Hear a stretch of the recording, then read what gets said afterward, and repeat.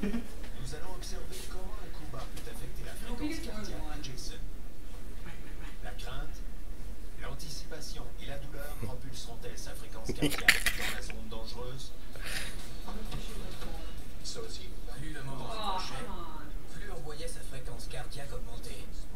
Il y avait des pointes qui montaient à 110 ou 120 battements, puis ça redescendait à environ 90 battements. La seule pensée que c'était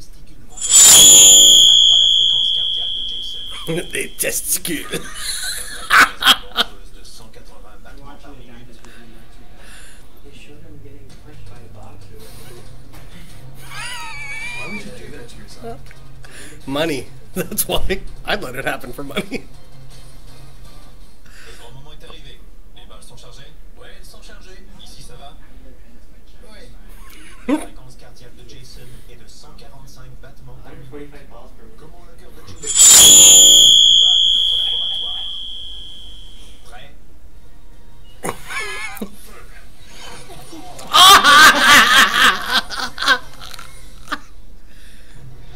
Didn't even hit him in the nuts.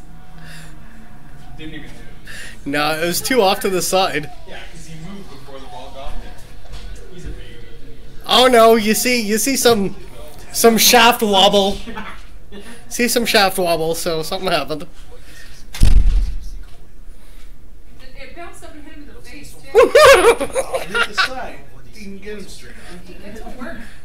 Oh, now they're showing the balls. This about? Lorsque le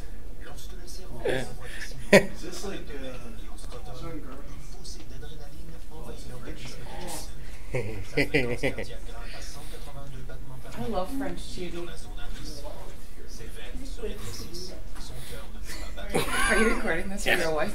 Yeah. d'un son combat. Uh, Un secouriste s'en vient. okay.